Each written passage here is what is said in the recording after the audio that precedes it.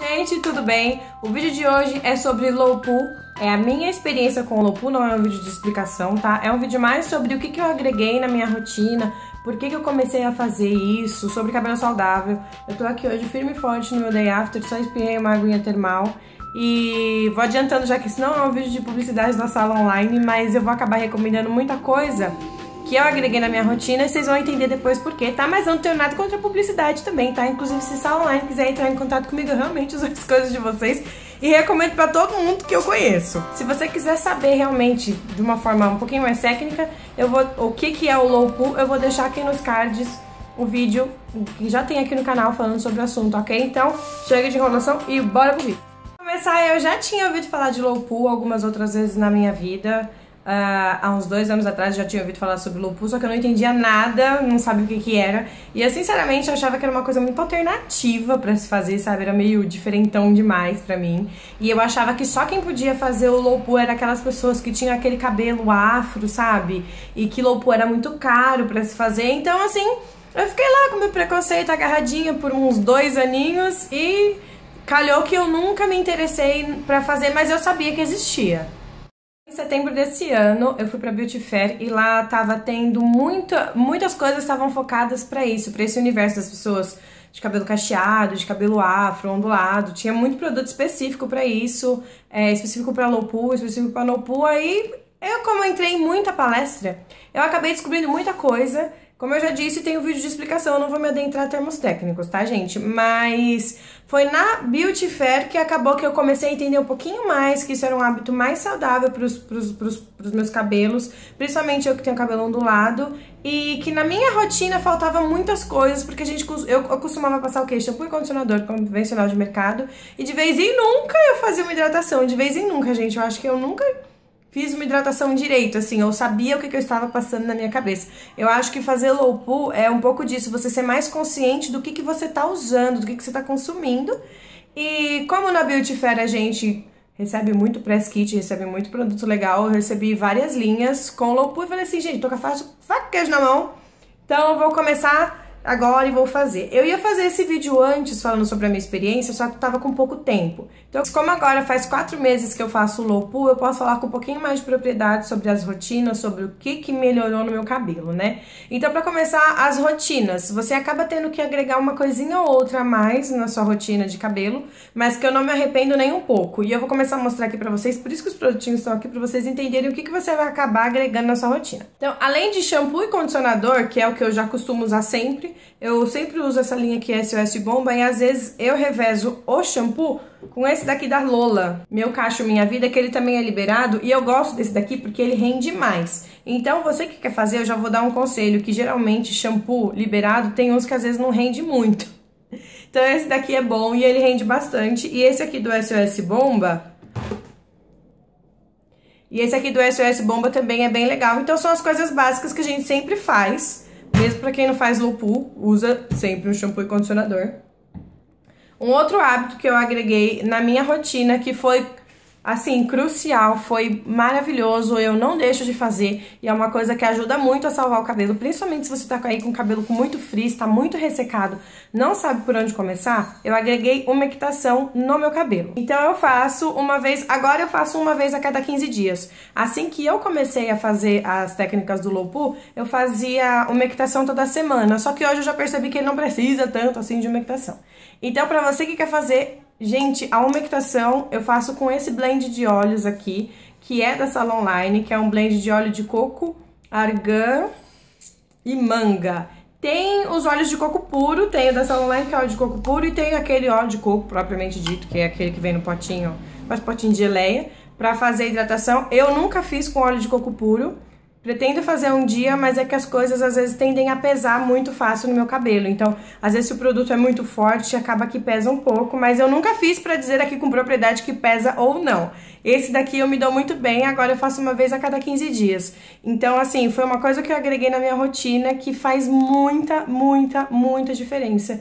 Foi a umectação. Eu não sou aquela pessoa que dorme com a cabeça encebada, tá? Mas quando eu faço, eu faço sempre de sábado e eu deixo pelo menos uma hora e meia, duas horas no meu cabelo. E faz muita, muita, muita, muita diferença. Um outro passo que eu faço também uma vez por semana é a hidratação com as máscaras liberadas. Vou mostrar também aqui uma máscara da Salon Online, mas eu quero fazer um vídeo falando só sobre máscara de hidratação. Então, quem tem o cabelo cacheado, ondulado, tem que se agarrar em umectação e hidratação, porque, assim, é uma rotina que deixa o seu cabelo muito bom, muito saudável e ele, ele eu acho que ele tem espaço para ser o que ele realmente é, porque a gente acaba passando tanta porcaria no cabelo que às vezes você não sabe se o seu cacheado é 2A, 2B, 2C. Eu descobri que o meu é ondulado depois que eu comecei a usar é, fazer coisas e deixá-lo mais saudável. Hoje eu não passo mais tinta no meu cabelo, que eu usava luzes e meu cabelo era extremamente ressecado. E eu acho que o low poo é isso, gente. O low poo é deixar o seu cabelo ser saudável. E lembrando que o low poo qualquer pessoa pode fazer. Não precisa ter cabelo cacheado ou ondulado, precisa ser mulher para fazer. É, qualquer pessoa pode fazer, é só você eliminar aí as coisas que fazem mal pro seu cabelo e optar por produtos que antigamente eram alternativos, mas hoje eu já acho que é tão fácil de achar. Então eu uso essa máscara aqui da linha Tô de Caixas da Sala Online, que é uma máscara de tratamento, que se você quiser começar, eu recomendo essa daqui porque ela é uma máscara que dá pra você fazer toda semana, não pesa no seu cabelo, ela é para todos os tipos de cacho, todos os graus de curvatura, e ela tem óleo, é, manteiga de oliva, óleo de coco extra virgem, óleo de rícino e B-pantenol, D-pantenol. Ah, então essa máscara aqui eu super recomendo. E falando da sala online, que eu falei no começo do vídeo que não era vídeo de publi, por que que eu recomendo muito a sala online? Porque é fácil de achar, o preço é super acessível e dá resultado, né? Porque não adianta ser caro demais, também não adianta ser barato demais não emprestar, não adianta ser barato ser difícil de achar. Então, assim, sala online é uma coisa que é muito, muito fácil de achar e todos os produtos são bons.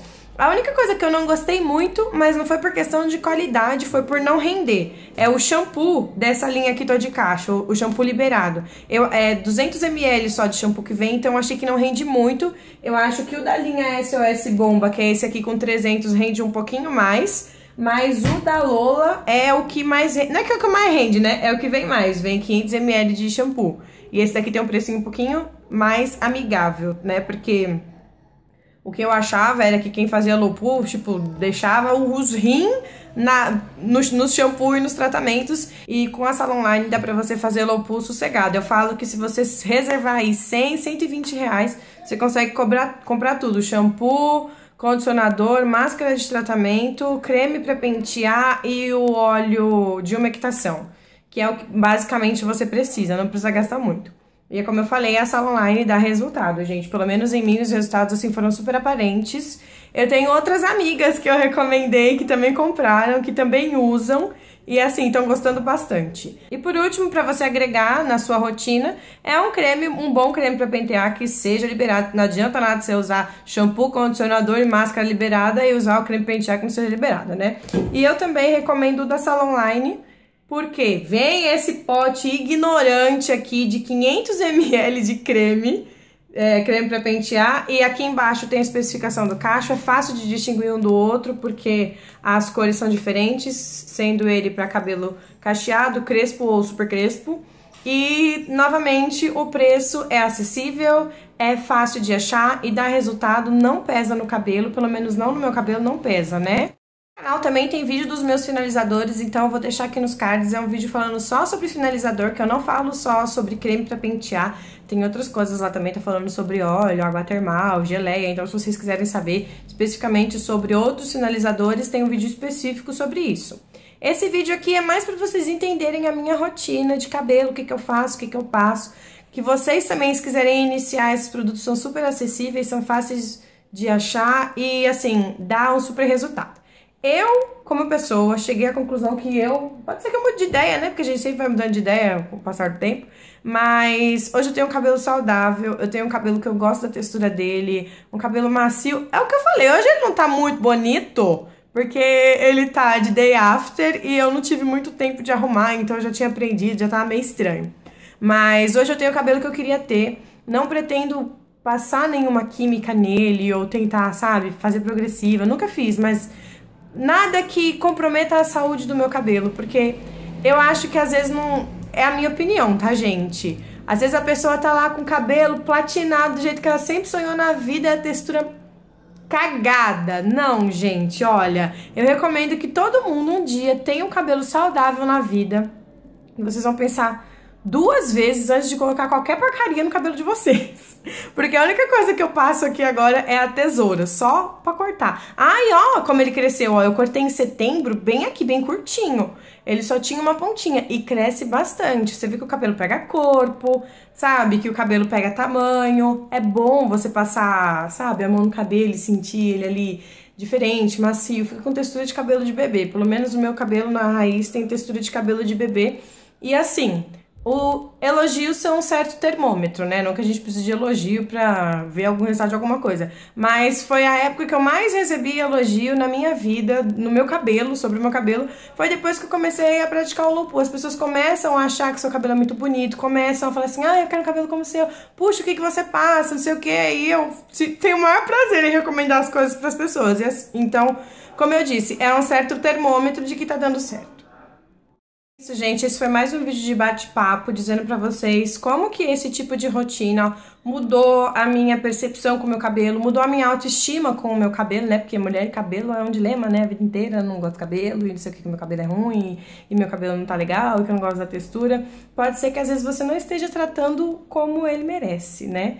É, mas, como eu digo, ninguém é obrigado a nada, você faz se você quiser, essa é a minha opinião. É que eu me sinto na obrigação de compartilhar com vocês quando uma coisa me faz bem, e isso foi algo que fez bem para a saúde dos meus cabelos, para minha autoestima de gostar de fato do meu cabelo.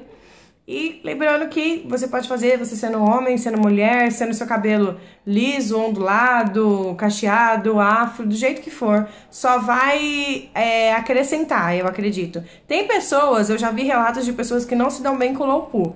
Pode ser que esse seja o seu caso, não sei. Deixa aí pra mim embaixo nos comentários se você já tentou fazer, se você gostou, se não deu certo. Ah, uma coisa que eu não falei ainda. Comecei a fazer o lupu, né? Aí eu tinha, ó, papo de amiga, sentei pra tomar um café. É, comecei a fazer o lupu, aí eu tinha ganhado nos press kits, eu ganhei os produtos X lá de uma marca tal, boa, marca boa, só que não eram produtos liberados, tá? Tinha lá, tinha parabeno, tinha umas parafinas, umas coisas doidas dentro do shampoo. E eu já tava fazendo low pool e falei assim: ah, eu vou usar, vou ver se é bom ou não. Fiz lá, passei o shampoo, fiz a máscara de tratamento, serei condicionador, passei lá um olhinho que você faz assim, depois ele vira uma espuminha. O cabelo ficou assim, perfeito, maravilhoso, ficou lindo, textura, brilho, uma coisa de louco.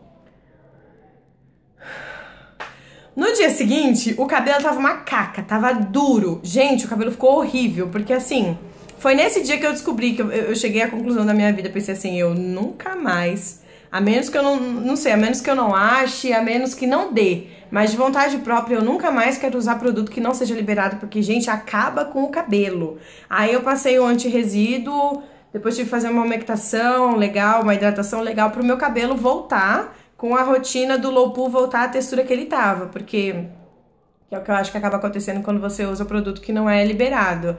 Na hora que você passa, fica lindo, fica maravilhoso, daí um dia dois seu cabelo tá ressecado, tá opaco, tá com frizz. Então, assim, pra minha vida, eu não pretendo deixar de fazer low pool. E se você, amiga, amigo, já parou uma vez, começou a fazer e parou e usou outro shampoo, me conta aí embaixo qual foi a sua experiência, porque eu acredito que não foi boa. E como eu disse, pode ser que não dê certo pra você o Lopu, mas eu acho que vale a pena tentar pra depois você dizer falar assim, ó, eu tentei e não deu certo. Porque vai que você tenta e que nem eu, dá super. Sabe, foi uma coisa sem pretensão nenhuma. Vai que você tenta, que dá super certo, você se apaixona. E aí, você se descobriu, gente. Então, se você gostou desse vídeo, não esquece de dar o seu like e se inscrever aqui embaixo no canal, tem sempre bastante novidades. Lembrando que no box da descrição sempre tem o link das minhas redes sociais para vocês se conectarem comigo por lá também. Então, eu espero que vocês tenham gostado do vídeo. Um beijo, até o próximo.